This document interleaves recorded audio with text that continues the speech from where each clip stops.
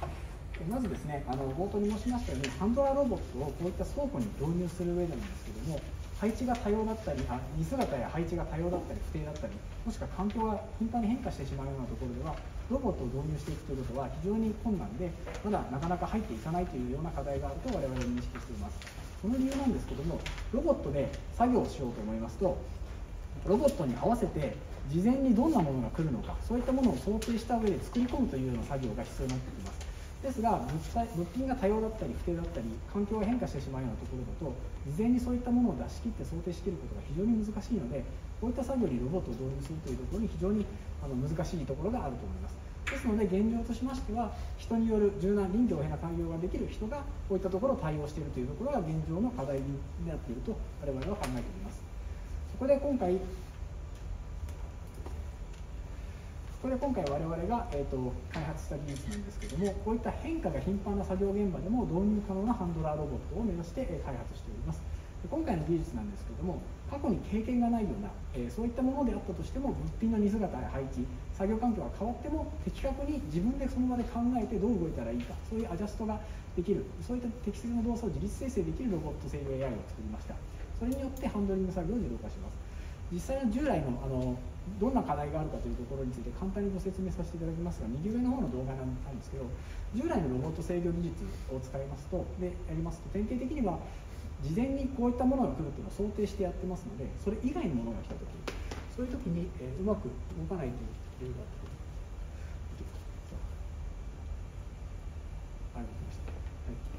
こうやって例えば物が思ったのと違うとぶつけてしまったり、置く時になんかえちょっと雑に置いてしまったりこういったようなことが起きてしまったりしますしもしくは面を変えておかれてしまうと動かさなきゃいけないんですけど90度曲げるときに肘が干渉してしまうとかこういったことが起きてしまいます。ですがこういうの人間だったら常識的にこうやればいいじゃないかっていうのはすぐ思いつくと思うので人間はこういうことができるんですけどロボットにこれをさせようと思うと非常に困難だよっていうのが今までの技術でした。今回我々が作った技術になりますとこういった常識的な判断ですねこういったものを柔軟にその場で考えて動作を作り出せるような技術になります。具体的にはちょっと例をお見せしますが例えばですね置く時にどう置けばいいかそこまで考えた上で事前にここを取ったらいいなとか取り出す時に少し横に動かしながら取り出そうとか置く時にこうそっとこういったことをその場で考えてできますしあと先ほどの面がずれ変わっているものに関しましては斜めから取って斜めにこう腕の動きを柔軟に使いながらこういった干渉しないパターンというのを自分で作り出すことができるようになります。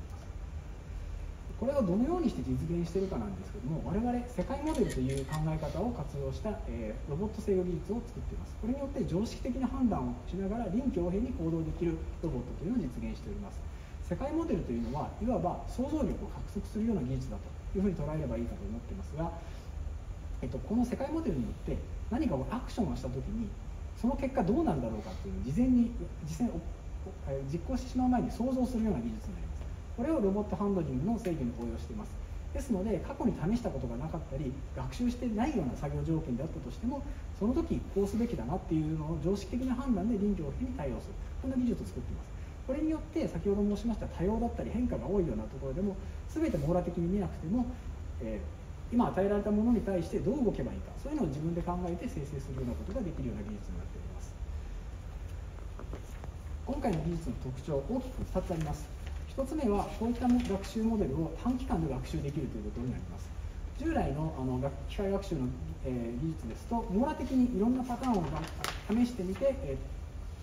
学習モデルを作っていくっていうようなやり方法則を作っていくやり方ですので数ヶ月程度例えばかかってしまうようなものでも我々今回導入した技術は学習の状況に応じて学習の精度を上げていくためにはどういうデータが重要なのか効率のいいデータというものを能動的に選択して効率的にモデルを学習することでこれを数日ぐらいまで縮めることができました。もう一つの特徴が高い成功率で実行できるというところになります。先ほど申しましたように事前にシミュレートしてどう動いたらどういいかっていうところを考えることができますので最も成功しそうなやり方っていうのを選びながら、えっと、実行することができます。それによって例えば従来でしたら70%ぐらいの水準のものを我々は95%程度まで引き上げるということに達成することができました。このような技術を使って我々今後としましては倉庫の、まあ、まだ人手に頼っているハンドリング作業を自動化していくそういったことを目指していまして現在研究開発を行っているわけですけども実用化を目指して実用レベルまで上げていくそことを目指しております。では本日はこの、えー、と技術を組み込んだ模擬倉庫におけるロボットハンドリングの自動ハンドリングのデモンストレーションを行いますのでデモの方をご覧ください。まずアーム型のロボットになります。でもう一つはこちらのアーム型のロボットの下にあの移動するロボットがですねついたものになります。でこれを使ってですね今回はあの倉庫のハンドリング作業の代表的な一つは運棚の中から物を出すと。そして運ぶという作業ともう一つはあの容器から容器に物品をですねまあ、適当に置いたものを並び替えると。いうといったといった、まあ、2つの作業の実際に動いているところを見せて見ていただければと思います。でですねあと画面に注目していただきたいんですけどこちらに表示しているのは今カメラ画像ではなくていろんなところにカメラがついている。このカメラ情報をもとに一度まあ認識してデジタル化したしてあげてそれをコンピュータグラフィックスで復元したものに、まあ、いわゆるデジタルツインと言われているもので我々はですねこういったデジタル化したデジタル環境下で制御 AI を使うことで、えーと、先ほどの技術を使ってですねあの動作を生成しております。では早速ですねこちらのロボットからお見せしたいと思います。こちらに来ていただければと思います。はい。じゃあそれではロボットの動かすあ動作お願いできますでしょうか。でこちらのロボットはあの棚からですね物品を取る作業に入ります。でこういったですねあのハンドリング作業っていうのは棚にぶつからないように取る必要があったりあるいはこう置くときにですね向きを変えてそっちを置く必要があったりするのであの取り方とかも考えながらですねこう取らないと置けないというところを考えながらやらないといけません。で結構あの従来ですと難しいんですけれどもそういった中でも我々はですね、まあ、上にあのあるカメラからその場であの、まあ、デジタル化してあげてあの制御 A を使ってこういったいい大きな作業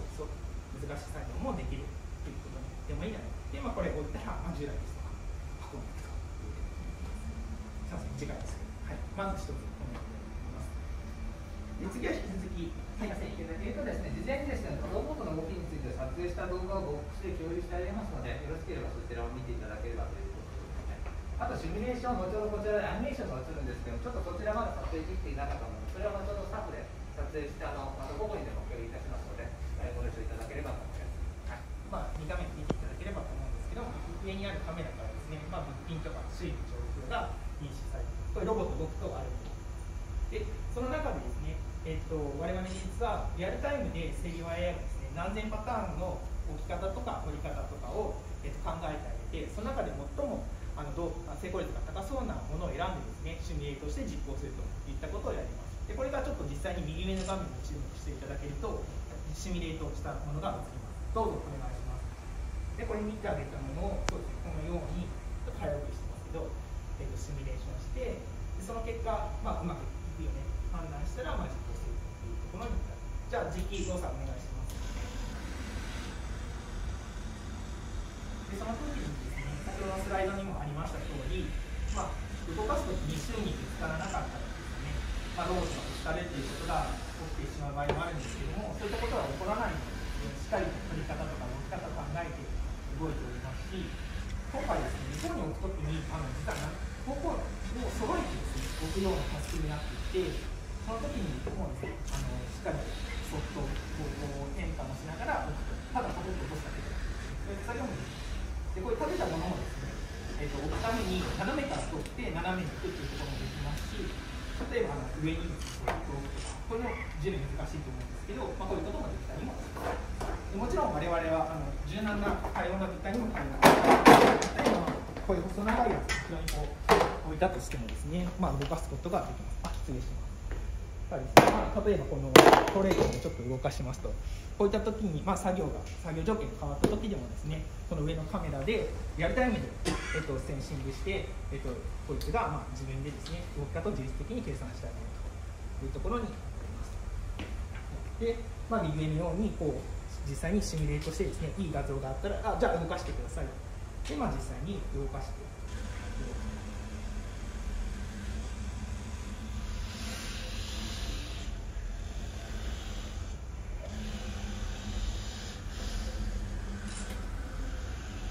これもちょっときれいに並べておくことが